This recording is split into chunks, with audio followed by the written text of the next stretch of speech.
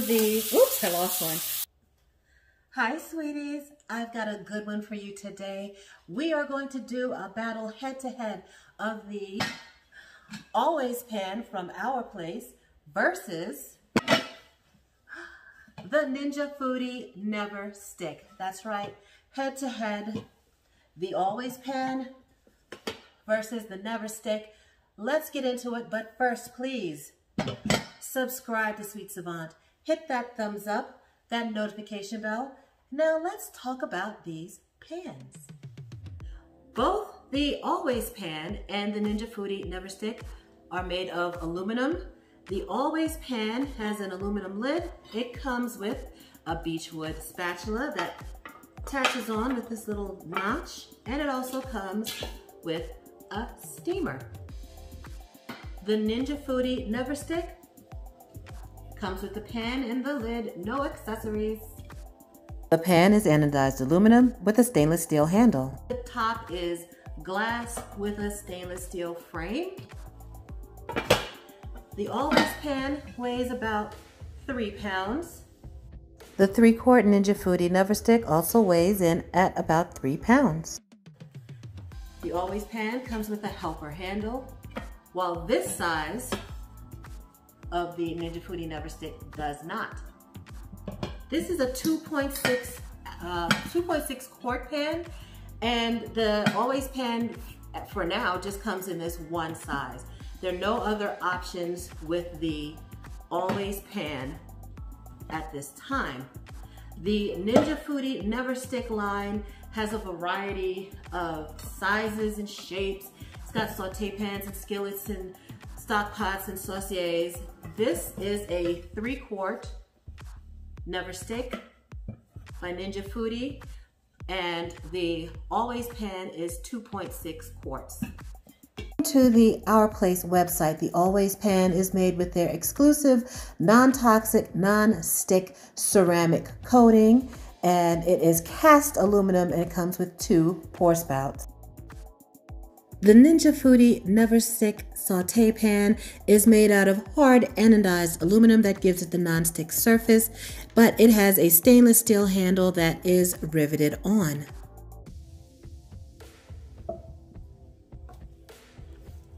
The Always Pan measures just about 10 inches in diameter across the top and eight and a half across the bottom, about two and a half deep the Ninja Foodi Never Stick is just about 10 and a quarter across the top and nine and three quarters across the bottom, giving you a larger surface area and also just about two and a half inches deep.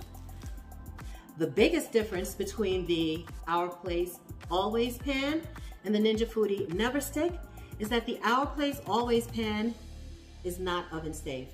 According to their directions, you cannot put this in the oven. The Ninja Foodi Never Stick is oven safe to 500 degrees. The pan and the lid are oven safe to 500 degrees. I asked on Twitter, what food should I use to demonstrate this uh, Ninja Foodi Never Stick versus Always Pan? And Ash, Bryant, and Judy all said they wanted me to do eggs, eggs with no oil. And I also saw a Facebook post by Ninja Foodi Never Stick where people were asking about doing eggs with no oil. And this is how the folks at Ninja Foodi recommend you to scramble eggs to break the egg into the pan and let it sit for a minute or two and then scramble it in the pan. This is the first time I'm doing it like that. So let's see you can see the egg in the always pan as the white has gotten a little bit browner. Um, you really have to watch the temperature in the always pan and keep the temperature medium to low. And you can use metal utensils in the Ninja Foodi Never Stick, but you should only use wooden or silicone um, utensils in the always pan. And you can see the egg slides around really easily in the Ninja Foodi Never Stick, but it's stuck a bit in that always pan. So I think that's a good example of how these nonstick surfaces work. And, um, you know, no oil in either pan. It stuck a bit in the always pan, but no sticking at all in the Ninja Foodi Never Stick.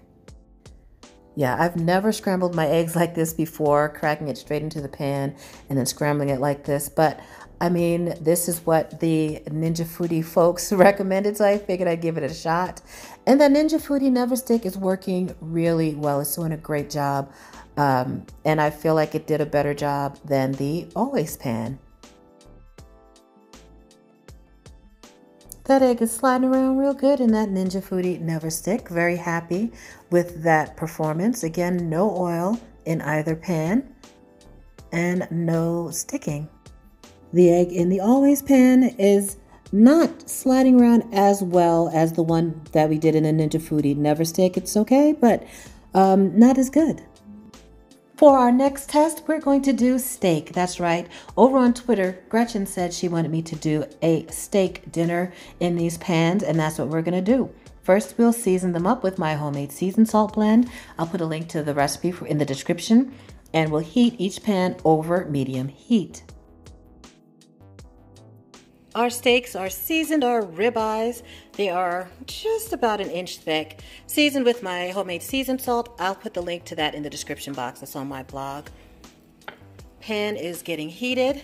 You can see the spatula there, and frankly to me, it kind of gets in the way when I'm trying to cook, and I don't really need it right now for this application. It's sizzling away nicely. Let's get this into the Ninja Foodi Never Stick.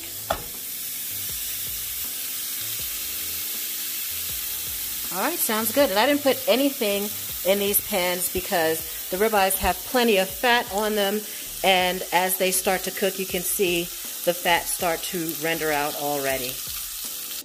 Those steaks have been cooking now for about two minutes.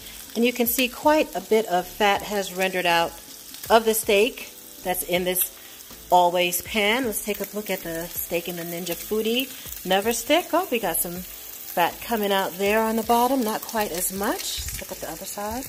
Oh, looks good. I'm going to grab my tongs. They have a silicone coated tip because you cannot use metal in the out every in the always pan. And to flip this.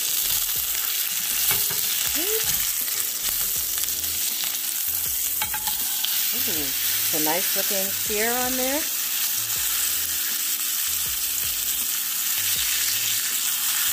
I've restarted this one a few seconds before the one in the always pan.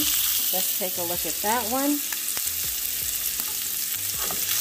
And with the always pan, they say you can use metal utensils.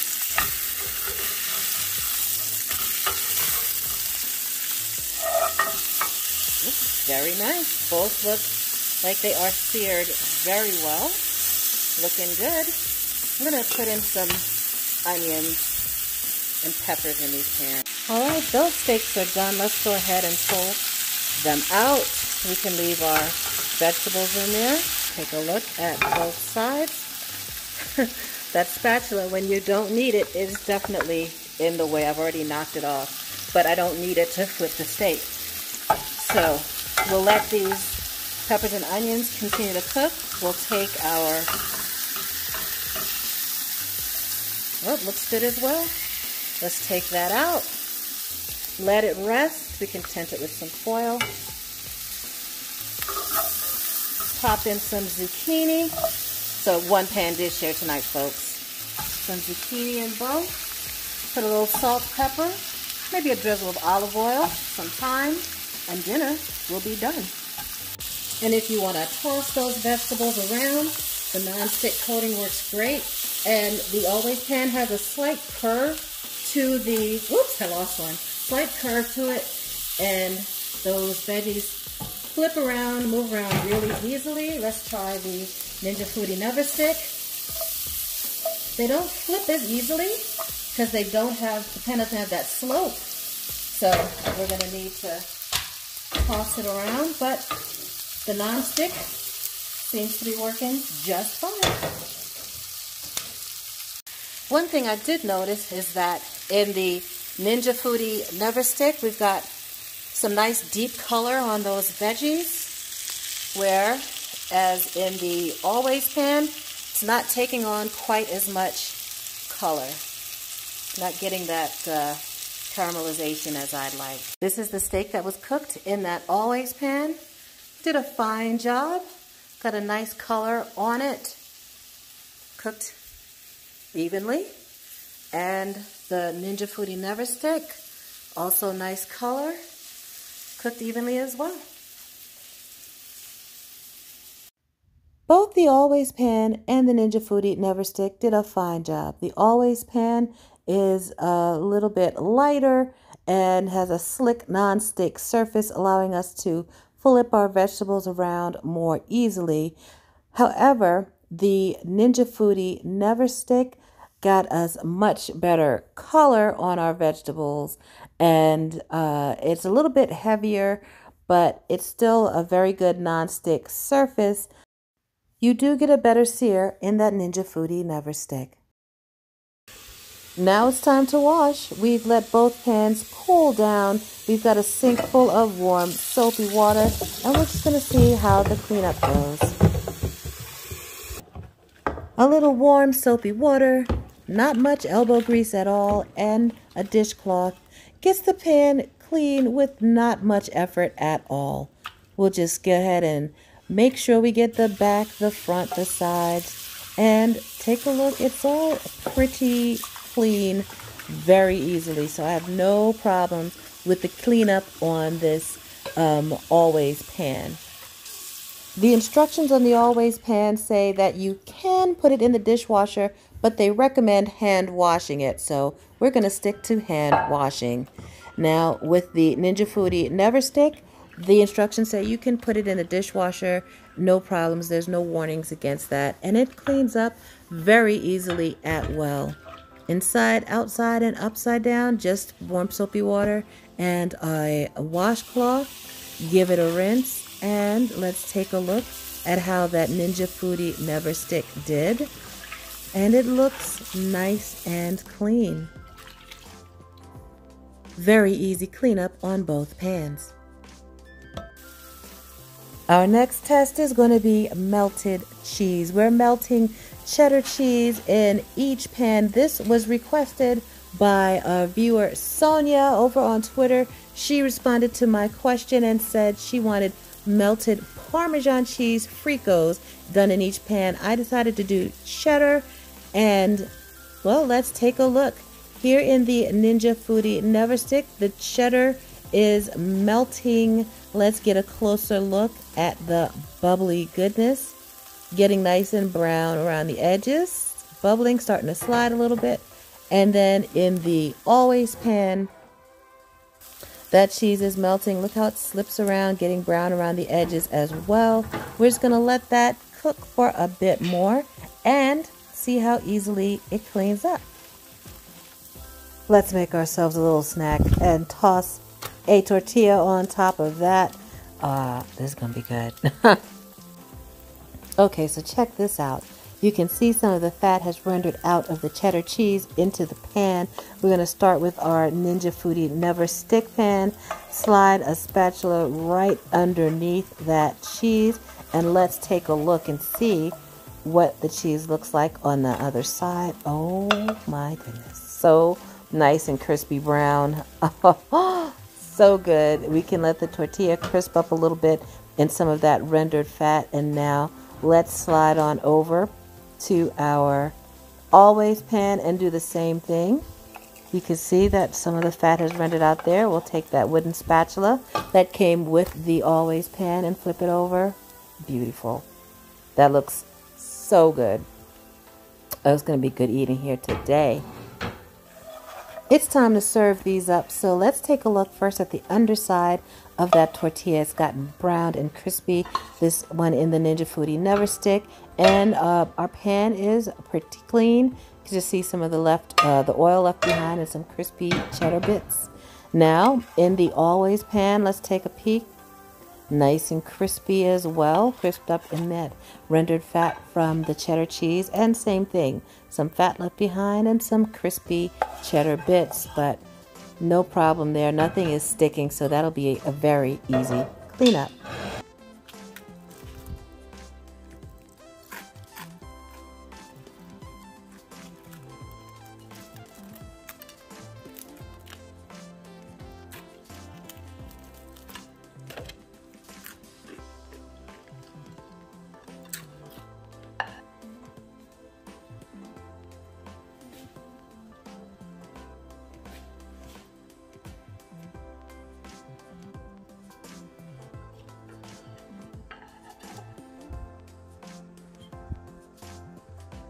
Our next viewer suggestion came from Candace over on Twitter, and she wanted pancakes. So we're going to cook up a stack of pancakes, some in the Always pan and some in the Ninja Foodi Never Stick.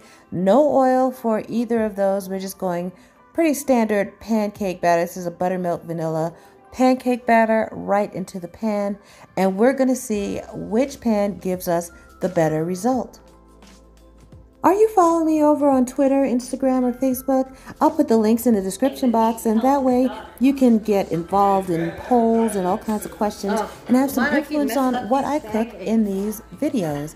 Now, you'll notice that the pancake in the Always pan got significantly darker than the pancake in the Ninja Foodi Never Stick. I tried to keep the temperature about the same, but that uh, Always pan, the pancake got darker but the inside was still underdone. So I had to turn the heat way down on the always pan to get a better result uh, for our pancakes. So this is the second test where we turn that heat down. And so now those pancakes have started to bubble a bit on the top and we'll flip them over and take a look and it's got a nice beautiful golden brown color and that never stick no oil needed, and it looks pretty evenly cooked. And now in our always pan, again, we turn the heat way down so that it would cook nicely on the outside and the inside. So keep that in mind if you have uh, an always pan, but nothing sticking in either pan. So I'm happy with both of those results. So both of these pans do a fine job with your standard pancake batter. These are my butter, buttermilk vanilla bean pancakes. And they come out nice and fluffy and a nice golden color on both sides. So both of these pans are fine with standard pancakes. However, when you move to a Dutch baby pancake, well, that's a different story. Now with the Dutch baby pancake, you're to have to crank up that oven and heat your skillet because Dutch baby pan is still made in a skillet you heat your skillet with some butter. You can put it on the stove top or in the oven. You pour in your nice batter. It's a pretty thin batter. I made it in the blender to get it nice and smooth. Pour that in and then right away you stick that pan into the oven and let that Dutch baby bake up until that batter hits the sides of the skillet and starts to rise up and it's really a beautiful dish. You can make it sweet, top it with fruit and whipped cream. You can make it savory with eggs and ham. But look how beautiful that came out. This baked pancake came out beautifully in the Ninja Foodi Never Stick. Let's see how we do with the Always pan. Oh wait, we can't. The manufacturer says not to put the Always pan into the oven. And that's the biggest difference between the Always pan and the Ninja Foodi Never Stick. The Ninja Foodi Never Stick pan and lid are oven safe up to 500 degrees. The Always pan is not oven safe at all. That baked pancake came out nice and clean from the Ninja Foodi Never Stick. Another issue I have is the size of the pans. I need a larger size pan to feed my whole family of four adults, so I bought the Ninja Foodi Never Stick in the 5 quart size. This has a helper handle, um, whereas the 3 quart size does not have the helper handle. That always pan, it just comes in one size, one shape. It comes in a 2.6 quart size and it's just not large enough to feed my whole family. The Always pan does come with a steamer insert, so you can heat about a cup and three quarters of water in the bottom of the Always pan and then place the steamer insert that comes with it right in once the water is boiling. And then put your lid on top and steam your dumplings and we've done that a couple of times since we've had that pan. So that's a nice feature. You'd have to buy an extra insert, an extra steamer for the Ninja Foodi Never Stick pan. So for a quick recap, the Always pan is a lightweight, comes in just about three pounds. It's an aluminum pan. It comes with a bamboo spatula that attaches a little notch on the top and it comes with a steamer, a metal steamer insert. It is a great slippery non-stick surface and I've been using it for about a month now and it's been fine. We'll see after six months how that non-stick surface is wearing. The biggest problem for me with the Always Pan is that it is not oven safe. According to the manufacturer's directions, uh, they say not to put in the oven and that limits the use too much. Um, it also only comes in this one size, one shape. This is it. Um, they probably will come out with more in the future, but we'll see. For now, this is it. For the Ninja Foodi Never Stick. It's anodized aluminum. Comes with a glass lid that has a stainless steel frame. The handle on the Never Stick is stainless steel. And it also has this insert, this base right here. The non-stick works very well. It is oven safe to 500 degrees, both the pan and the lid, which is important for me because I do a lot of cooking starting on the stove top and then inserting the pan into the oven. If you're making a frittata or the Dutch baby pancake like I made earlier, if you're sometimes searing a cut of meat on the top of the stove and then finishing it in the oven, I like to do that instead of having to transfer it to another pan. So it's, um, to me, more versatile. They also come in a variety of shapes and sizes. This is the three quart. This is the five quart, and the five quart comes with that helper handle on the side. It also comes in a variety of shapes. They've got a stock pot and a uh, sawtooth and a skillet. So you get more uh, options when you're purchasing a pan. Like for everyday use, I love a quick one pot meal. So I use this five quart pan quite a bit. Um, so there's more variety. It's also dishwasher safe and you can, there's no restriction on how hot you can get it. For the always pan, they do recommend that you only heat it to medium, up to medium heat. So be aware of that. The Ninja Foodi Never Stick has a lifetime warranty. It says lifetime, but it's really five years um, with proper use. So you get somewhat of a, a, a, warranty with it. And again, I'll continue to use it and show you after six months. Maybe we'll do another head-to-head -head comparison in six months and see how they are wearing, how it's going. But I've had, like I said, both of these for a couple of months now. And, um, you know, they work. They're both good non-stick pans. But for me, the Always pan is too limited since I can't put it in the oven. Um, and the size is too small for my regular use. So I don't recommend it if you, if you cook like me. A lot of people like it. That's great. Um, my kids have been really using the steamer insert more so than I have. They've been steaming their dumplings and all kinds of stuff in there. So they've really been loving it. Um, but again, it's too limited for my use. Um, the Always pan at this time retails for $145, making it pretty darn expensive. Um, I bought it on Black Friday for $95. So if you can catch a sale, good on you. I also ordered the bamboo steamers um, at a separate cost, but they have not arrived yet. So we'll do an update when the bamboo steamers arrive.